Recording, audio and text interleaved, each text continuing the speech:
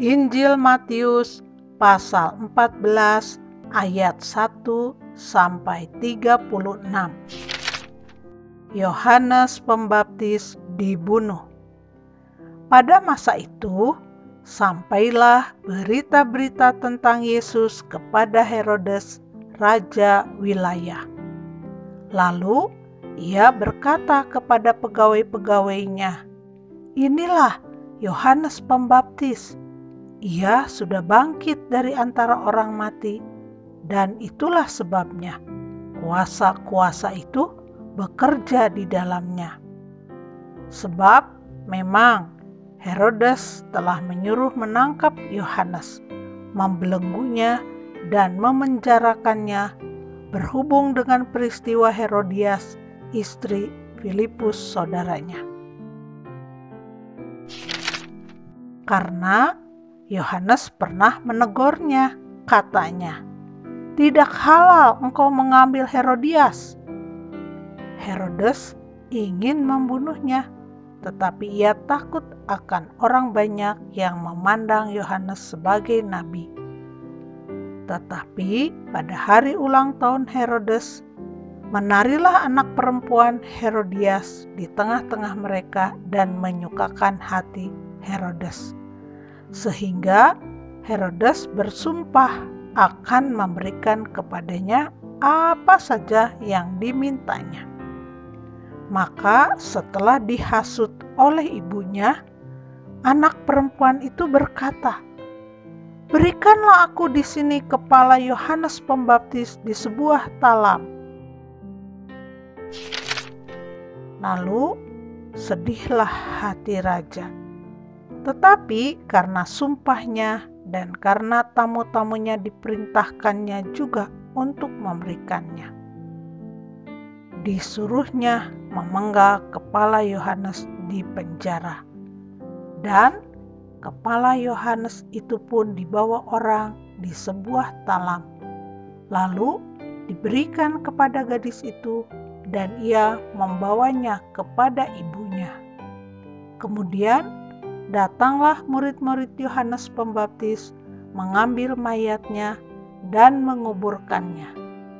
Lalu pergilah mereka memberitahukannya kepada Yesus. Yesus memberi makan 5.000 orang. Setelah Yesus mendengar berita itu, menyingkirlah ia dari situ dan hendak mengasingkan diri dengan perahu ke tempat yang sunyi. Tetapi orang banyak mendengarnya dan mengikuti dia dengan mengambil jalan darat dari kota-kota mereka. Ketika Yesus mendarat, ia melihat orang banyak yang besar jumlahnya. Maka tergeraklah hatinya oleh belas kasihan kepada mereka dan ia menyembuhkan mereka yang sakit. Menjelang malam, murid-muridnya datang kepadanya dan berkata, "Tempat ini sunyi dan hari sudah mulai malam. Suruhlah orang banyak itu pergi, supaya mereka dapat membeli makanan di desa-desa." Tetapi Yesus berkata kepada mereka, "Tidak perlu mereka pergi, kamu harus memberi mereka makan." Jawab mereka, "Yang ada pada kami di sini hanya lima roti dan dua ikan." Yesus berkata, "Bawalah kemari kepadaku." Lalu disuruhnya orang banyak itu duduk di rumput. Dan setelah diambilnya lima roti dan dua ikan itu, Yesus menengadah ke langit dan mengucap berkat, lalu memecah-mecahkan roti itu dan memberikannya kepada murid-muridnya. Lalu murid-muridnya membagi-bagikannya kepada orang banyak. Dan mereka semuanya makan sampai kenyang. Kemudian orang mengumpulkan potongan-potongan roti yang sisa 12 bakul penuh. Yang ikut makan kira-kira 5.000 laki-laki tidak termasuk perempuan dan anak-anak. Yesus berjalan di atas air. Sesudah itu, Yesus segera memerintahkan murid-muridnya naik ke perahu dan mendahuluinya ke seberang. Sementara itu, ia menyuruh orang banyak pulang. Dan setelah orang banyak itu disuruhnya pulang, Yesus naik ke atas bukit untuk berdoa seorang diri. Ketika hari sudah malam, ia sendirian di situ. Perahu murid-muridnya sudah beberapa mil jauhnya dari pantai dan diombang-ambingkan gelombang karena angin sakal. Kira-kira jam tiga malam, datanglah Yesus kepada mereka berjalan di atas air.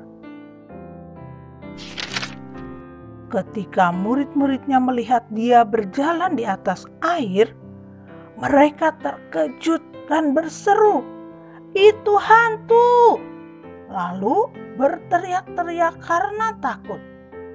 Tetapi segera Yesus berkata kepada mereka, "Tenanglah, aku ini, jangan takut." Lalu Petrus berseru dan menjawab dia, "Tuhan, apabila Engkau itu, suruhlah aku datang kepadamu berjalan di atas air. Kata Yesus, "Datanglah." Maka Petrus turun dari perahu dan berjalan di atas air mendapatkan Yesus. Tetapi ketika dirasanya tiupan angin, takutlah ia dan mulai tenggelam lalu berteriak, "Tuhan, tolonglah aku!" Segera Yesus mengulurkan tangannya, memegang dia, dan berkata, "Hai orang yang kurang percaya, mengapa engkau bimbang?" Lalu mereka naik ke perahu, dan angin pun redalah dan orang-orang yang ada di perahu menyembah dia. Katanya, "Sesungguhnya engkau anak Allah." Yesus menyembuhkan orang-orang sakit di Genesaret. Setibanya di seberang, mereka mendarat di Genesaret. Ketika Yesus dikenal oleh orang-orang di tempat itu, mereka memberitahukannya ke seluruh daerah itu. Maka semua orang yang sakit dibawa kepadanya. Mereka memohon supaya diperkenankan menjamah jumbai-jubahnya. Dan semua orang yang menjamahnya menjadi sembuh.